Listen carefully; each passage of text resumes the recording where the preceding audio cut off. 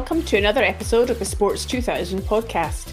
I'm Sue Stockdale, your host for this series that takes you behind the scenes of this British sports car prototype series. Today I'm talking to John Iley, a new competitor in the Duratec category of the Sports 2000. John has always been hooked on motor racing after taking a trip to Silverstone when he was three years old. 47 years later, he gained his ARDS racing licence at 50 years old and made his debut in Sports 2000 this season with the UW TSD team. Although he's only recently become a racing driver, he has been involved in motorsport on the technical side, working for a large part of his career in F1, and latterly had senior roles in Renault, Ferrari, and McLaren. John now runs his own business, helping people's performance vehicles go faster, and that even includes some of those Winter Olympic sports. He is Professor of Practice at University of Wales, Trinity St David, so there's going to be lots to talk about. Welcome, John. Thank you very much. Nice to be here. Now, did I call you a newbie to Sports 2000? Because I think this is your maiden season with Sports 2000. Would that be correct? Yes, and newbie is a very accurate description, I would say, because I think I've only got 10 races in my entire career before Sports 2000. So a very steep learning curve at the moment. So, in terms of your reflections this year of, of first time being in a Sports 2000, is it a Duratec that you drive?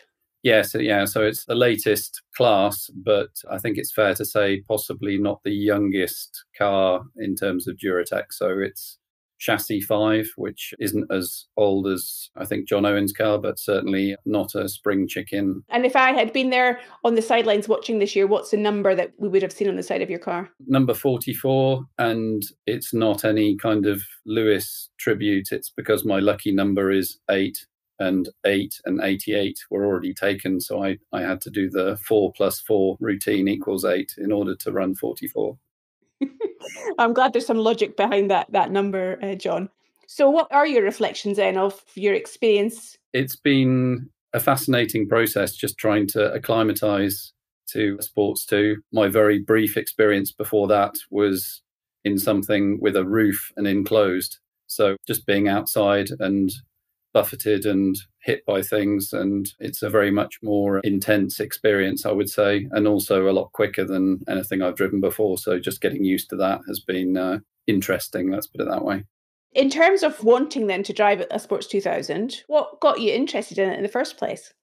Well, I think it's a very good category in terms of performance pound of currency, if you like. So it's a huge amount of speed for budget is one thing. And then I think it's fair to say my involvement with Tim Tudor and the University of Wales Trinity St David's was definitely a strong factor in making me get involved with the students and the university and being involved in Sports 2 through that. Now, we'll come on to find out a little bit more about that relationship and what you do there with the students as our conversation proceeds, John. First, I want to pick up on the word you used there about performance. And I sense that you are very familiar with the world of performance and, in particular, aerodynamics within motorsport. Is that right? Yeah, so it's fair to say I'm a frustrated racing driver. It was always the plan to do this as my career from the age of three to about 16. But some careers advice at school suggested that I might need a uh, backup plan of some kind just in case the racing driving didn't work out. And I was duly taken aback at that point, as if the racing driving was in any shape or form not going to happen. So I did some background work, I suppose, or, or studies on the technical side. And that did work out. If you say the addiction started at three, I've taken sort of 48 years to get round to finally sitting in a car. And I hope I haven't left it too late, but I'm trying to catch up some very experienced people on the Sports 2000 grid, but I've got a lot of learning to do. Well, they always say it's never too late to learn. So uh, it's about maybe accelerating that learning as you're going around the circuits. Well, I certainly hope that's true, but I think it still remains to be proven completely, but uh, we'll see how I get on. And in that technical career then that you had, John, I understand your area of specialism was really about aerodynamics. Yes, again, when I was studying that clearly at the time, particularly in motorsport, I've always been hooked on motorsport, but it became very obvious early that that was perhaps the biggest area of influence you get on race car performance. So, being a bit of a performance orientated person, that made me gravitate strongly towards it. And no matter what the category has been over time and who I've worked for, it's always been aero at the core of trying to improve a particular car or a particular team's performance up the grid. And just how much is the success of any race car down to the aerodynamics compared to, say, the other technical aspects and even the driver capability? It depends a lot on the category and also the set of regulations in place at that moment. But certainly in the last 15 to 20 years in Formula One, aerodynamics has probably been the best area to spend your time and budget in terms of influencing the car and although they may be making some changes in that general area very soon for 2022, the car performance has strongly outweighed driver influence in terms of uh, lap time. So the teams obviously spend a lot of time and money in doing all they can to improve the car performance, and Aero's been a, a key part of that.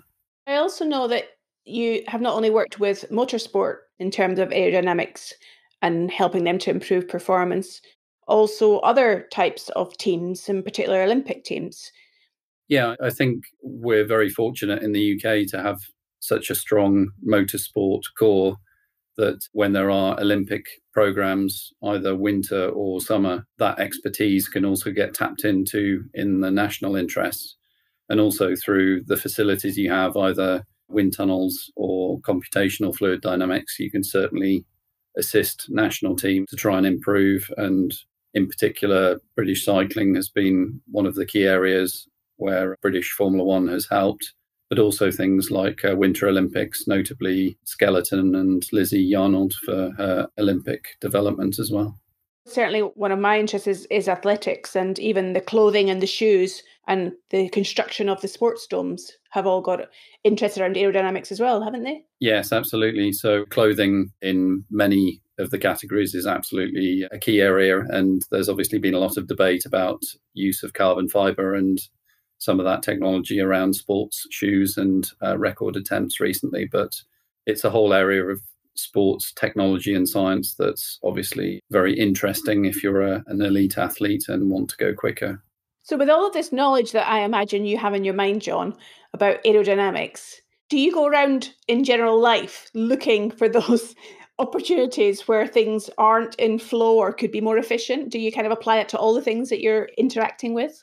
Yes, I'm afraid so. It, it's a blessing and a curse, but it's not always high up on people's agendas. I would love aerodynamics to contribute more to some of the challenges we face, certainly in terms of emissions and CO2 and those kind of things. But people tend to focus very much on what comes out of an exhaust pipe and the powertrain rather than the whole picture for trying to improve those kind of areas. But I know the aerodynamics community would like to contribute far more, if possible, in the future to some of the challenges we face.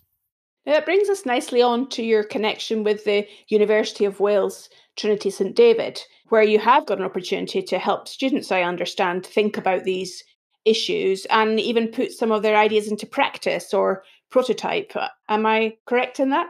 Yes, it's one of the things this season which is great. Tim Tudor, my teammate, is a, a, lecturer at the university, and I do some lecturing and mentoring as well.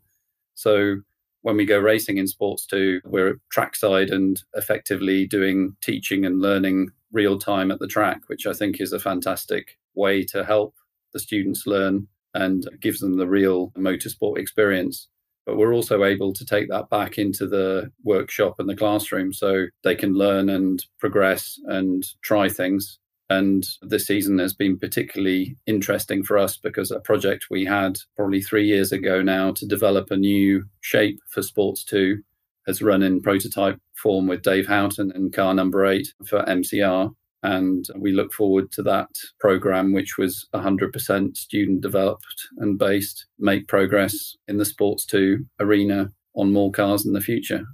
So that must be really satisfying for the students to see the results of their efforts in a competition on a race. Absolutely. And for me, it's not just a perfect CV for the students doing that kind of work, but also for the university to show they're developing future motorsport engineers who can do it for real. So I think it's a perfect exhibition of what they can do. And what else does your work within the university involve then? You said you're doing some teaching there as well. What do you share with the students? A lot of my background experience, and also as we go along on our different projects, you can possibly ask them some leading questions as to why a certain direction might be a good idea or not such a good idea.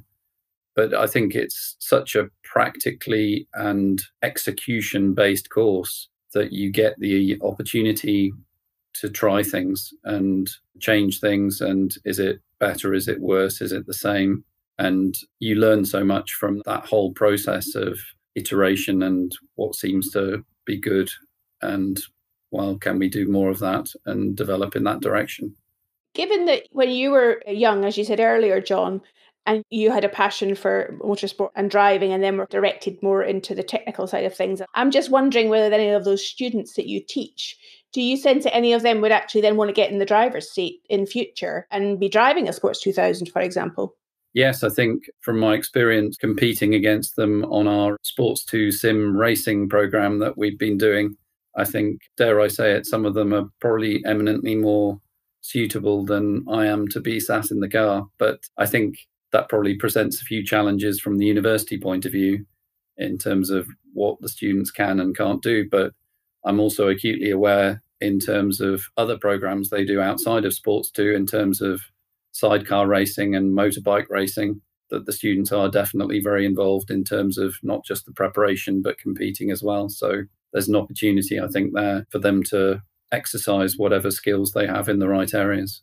So maybe in one future grid in some time to come, you might have one of your students alongside you in a Sports 2000. I certainly think that's a possibility and something the rest of the Sports 2000 grid may need to be quite uh, careful and, and aware of. Yes. now, you mentioned earlier, John, that you've only done 10 races prior to driving a Sports 2000. From coming with little experience of driving a race car, how did you tackle the challenge of then showing up and competing in Sports 2000? I think it's actually incredibly frustrating because having worked with some of the really top people on the driving side through being in F, I'm probably more acutely aware than most what is required. The frustrating thing for me trying to drive for the first time, and I wish I'd done it the other way around because I, I would have had a much better appreciation for what's important and what's involved from the driving seat. But it's so frustrating to almost know exactly what I should be doing from a driving point of view, but actually putting that into practice is a completely different thing. So I have the awareness, it's just seat time and practice to actually make sure I can do it myself. And that's where I just need a few more races to, to try and get my head around it, really. So, will you be doing secret sim training in the winter?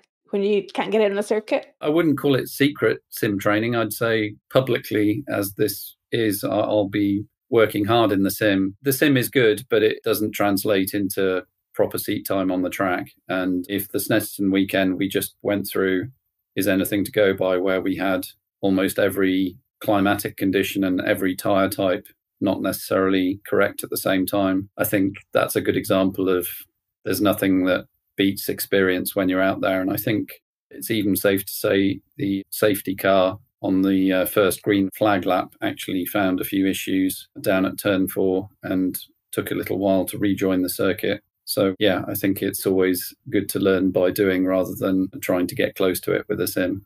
One would imagine then you're eager for next year to get back on track and get that seat time? Yes, certainly. We might be able to do something over the winter in terms of a little bit of track training ourselves, but fundamentally it's just more track time and more experience. And the frustrating thing for me is I improve every time I get in the car.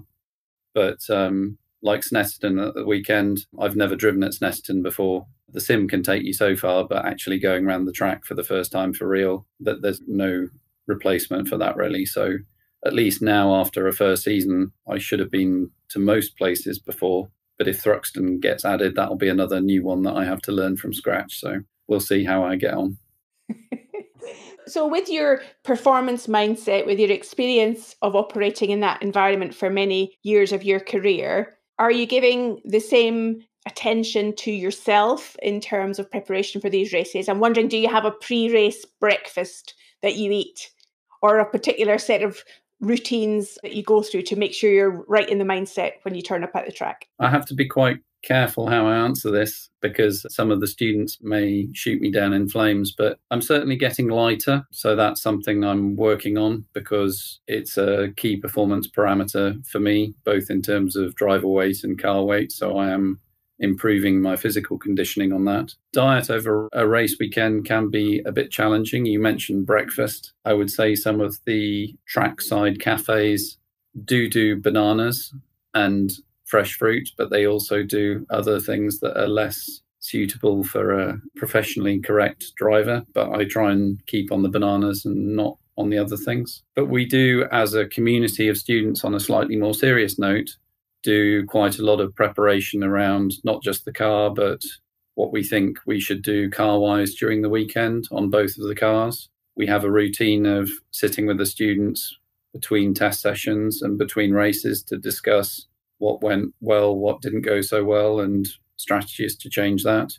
And then typically we circulate reports and performance measures after a race weekend for us to assess actually how it went and what we should do better and differently for next time. So that's also part of the student and program learning that we're trying to do. You're really integrating the continuous improvement philosophy into every aspect of the race experience from your own personal preparation to working with the students to the car improvement and even your knowledge of circuits and so on.